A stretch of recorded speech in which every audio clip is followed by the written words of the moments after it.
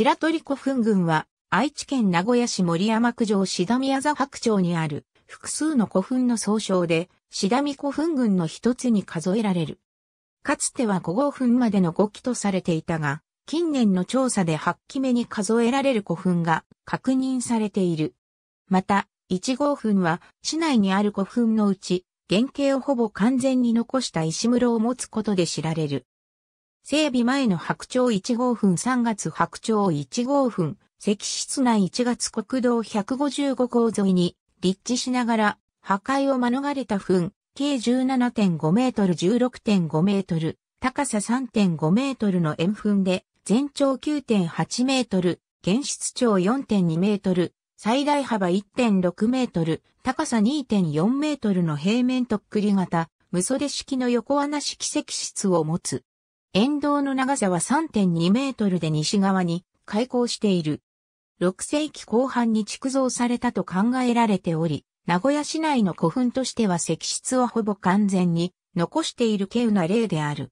平成7年に名古屋市の史跡に指定された。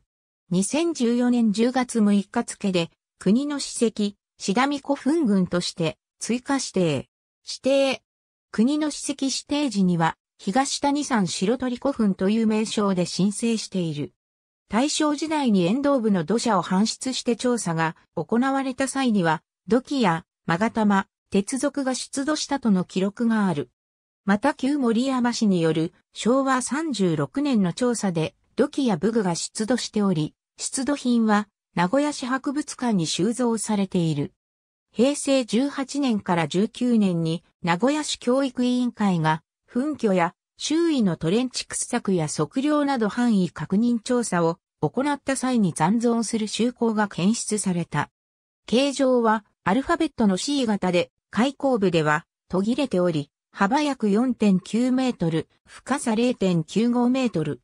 これにより、周港を含めた1号分の規模は、東西約25メートル、南北約24.5メートルとなった。また、同調査の際に隣接する位置に8号分の移行を確認した。なお、現在は石室前に格子戸が設けられ施錠されているため、通常は内部に立ち入ることはできない。出土品墳、計12メートルの円墳で西向きに開口した横穴式石室を持っていたが、昭和36年の調査後に開発によって滅失した。平平が出土している。地表下に周口が残存している可能性があるとされている。2号墳と同規模の円墳。開発によって2号墳と同時期に滅失。2号墳同様、地表下に周口が残存している。可能性があるとされている。かつて破墳、計10メートル、高さ2メートルの円墳とされていたが、平成17年の住宅建築に伴う発掘調査で墳、計15メートル、高さ2.1メートルの墳丘残存が確認され、西南西に開口した無袖式の横穴式石室の移行が検出された。石室は、奥壁から沿道先端部まで6.65メートル、現室長3.56メートル、石室最大幅1.74メートルなどで、天井石が失われていた。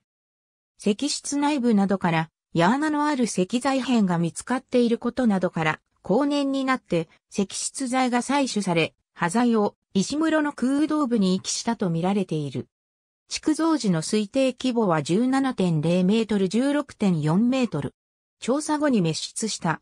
出土品以上は、原室内部からの出土。原室外からは、縄文時代の遺物なども見つかった。墳、計10メートル、高さ2.5メートルの円墳。天井石と思われる石材が露出しており、横穴式石室が残存していると思われるが、未調査。民家の庭先にある塚上部で古墳と推定されているが、未調査のため実際のところは不明である。噴径約10メートルの円墳。4号墳調査時の伐採で墳丘と、おぼしき地形が見つかり、表土中から巣液の月蓋が完全な形で見つかったことなどから、合わせて調査が行われた。墳町と南側は作閉され北側は国道155号に面した崖状になっているなど、形状は大きく損なわれていたが、南側に開港していた石室の日足壁とみられる石積と須液が出土した。調査後、滅出した。出土品円墳。